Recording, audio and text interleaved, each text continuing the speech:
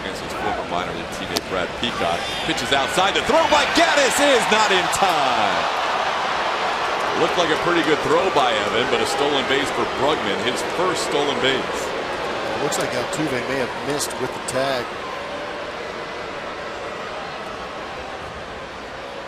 Brugman's first major league steal. Yeah, a lot of movement coming back towards the inside part of the diamond by Altuve.